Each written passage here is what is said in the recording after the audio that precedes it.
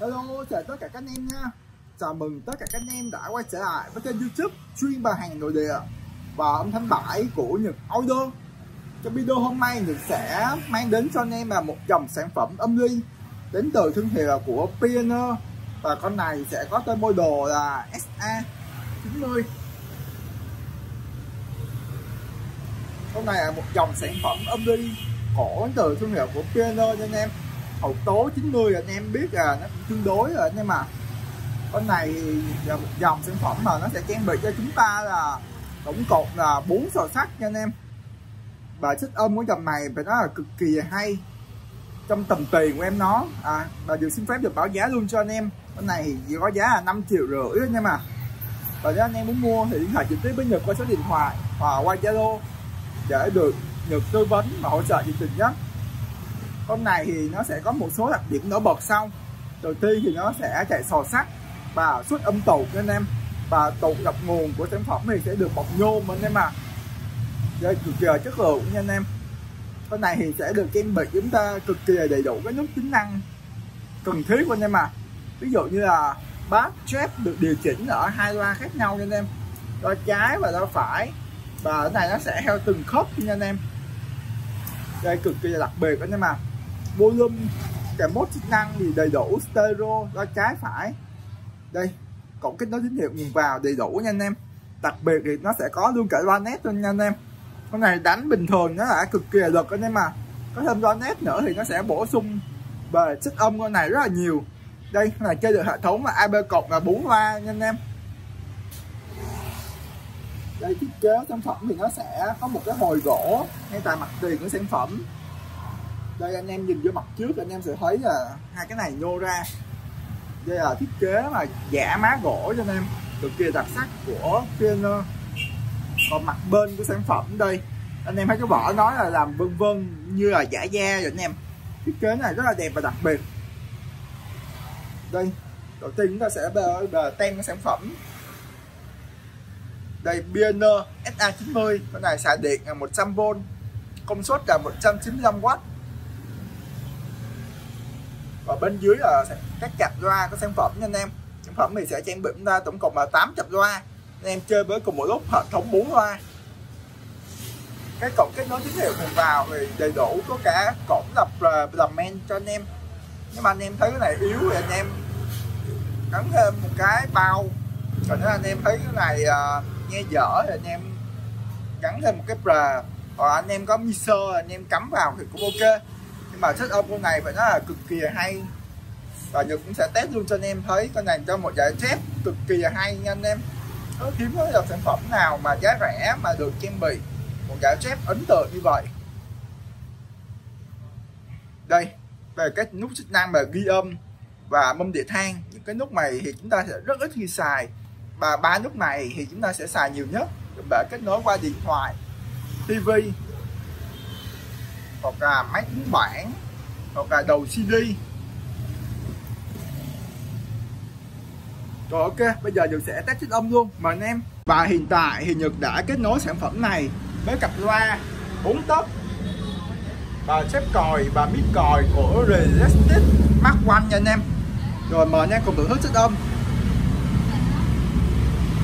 Đây, Nhật đang đã ở AUX1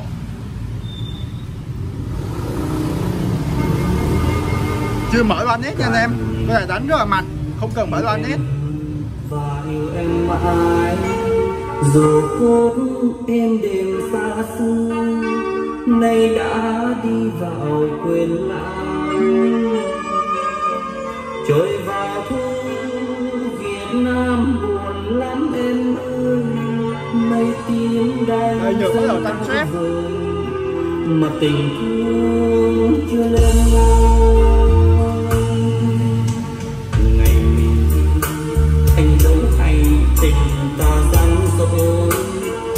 để bước phong trần tha phương anh khóc cho đời viện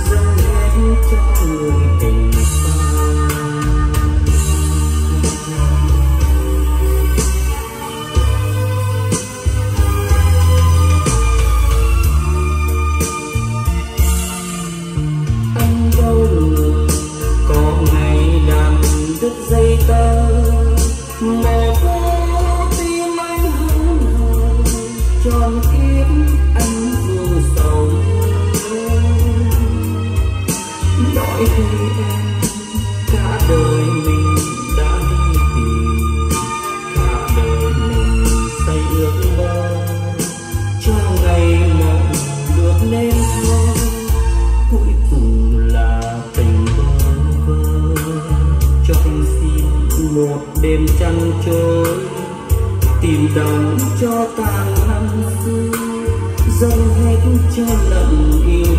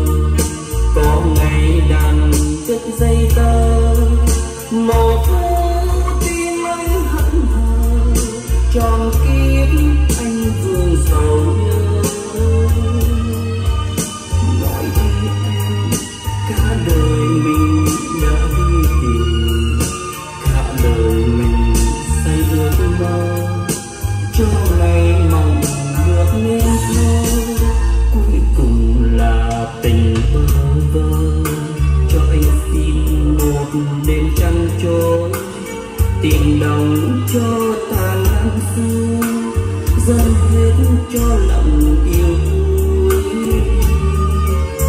rồi từng đêm từng đêm như bước cô đơn em khóc cho phương thẫn ngờ anh chết trong mộng ngày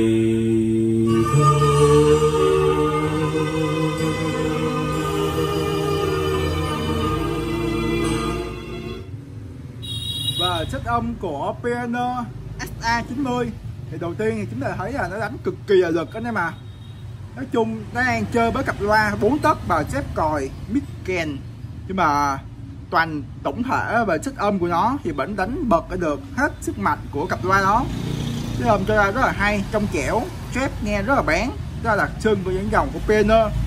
Nếu mà so sánh với những dòng sản phẩm mà cùng thương hiệu và cùng phân khúc thì chúng ta sẽ có là thanh xui, AU, D 7 thì cái này phải nói là đánh mạch và nó lực hơn rất là nhiều anh em mà mà giá thì nó là rẻ hơn so với thanh xui 707 rất là nhiều.